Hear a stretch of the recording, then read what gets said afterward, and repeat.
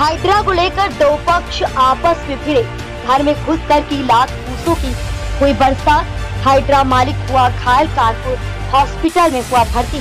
मारपीट की घटना घर में लगे सीसी कैमरे में हुई कैद। पुलिस ने नहीं की कोई कार्रवाई। जननायक कर्पूरी सेना उतरी बचाव पक्ष में।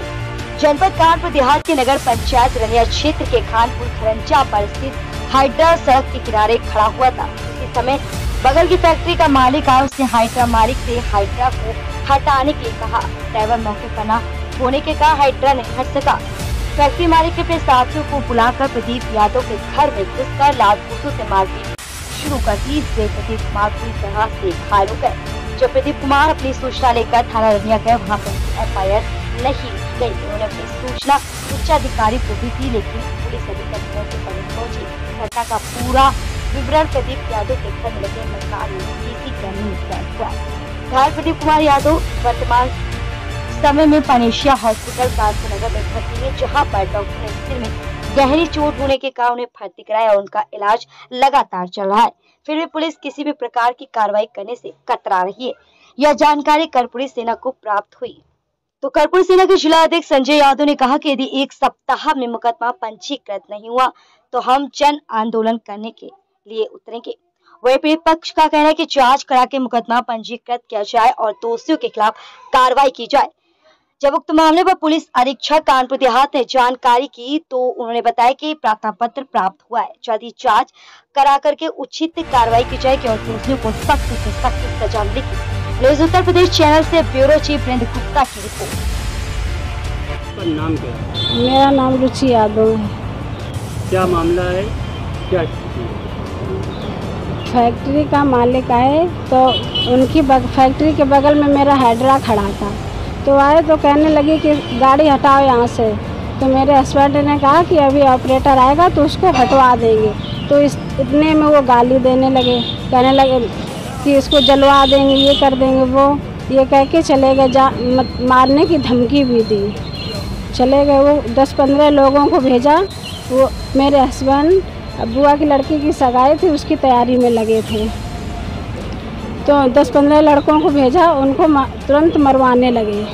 घेर लिया चारों तरफ़ से।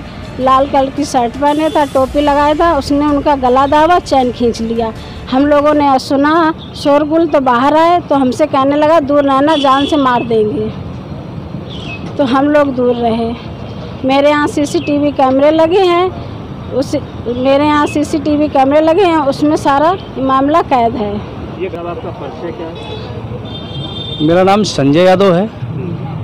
मैं जन नायक कर्पूरी सेना का कानपुर देहात से जिला प्रमुख हूँ। और इसको कहा जाए कि मैं सोशल वर्कर भी हूँ। मामला क्या है? कहाँ की घटना क्या हुआ है? ये दरअसल श्रीमान जी ये खानपुर खरंजा में एक प्रदीप यादव नाम के अ, मकान बना के रह रहे हैं। वो हाइड्रा उनके उनका व्यापार है हाइड्रा का। तो जो उन्होंने हम- हमसे कंप्लेन की जो उन्होंने उन्होंने सूचना मुझे भेजी जो उनके घर में आठ तारीख की घटना है कुछ अराजक तत्व तो फैक्ट्री मालिक ने तुषार बताया गया कि तुषार गुप्ता एक फैक्ट्री मालिक हैं। उनसे उनकी किसी बात को लेकर हाइड्रा को लेकर कहा सुनी हुई। उस पर वो आवेश होके या जलन में करीब चौदह पंद्रह लड़के भेज दिए गए। तो उनके घर के अंदर मारपीट उन्होंने किया है। और ये भी बताया गया है कि उनके घर में सीसी कैमरे हैं और हमारे यहाँ कैद भी हैं। मतलब उस सीसी कैमरे में वो सारी घटना कैद भी हो गई है। तो इस संदर्भ में उन्होंने प्रार्थना पत्र थाना अध्यक्ष महोदय रनिया को भी दिया।